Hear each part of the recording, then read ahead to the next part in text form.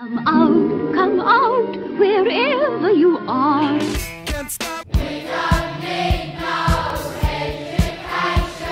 They took our jobs. Yeah, they're down. Took our jobs.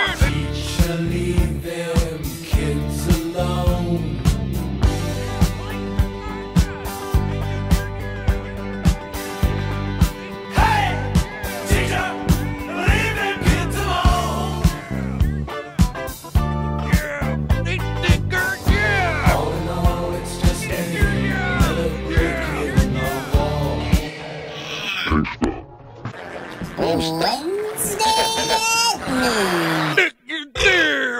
29th, fool. Come on, y'all.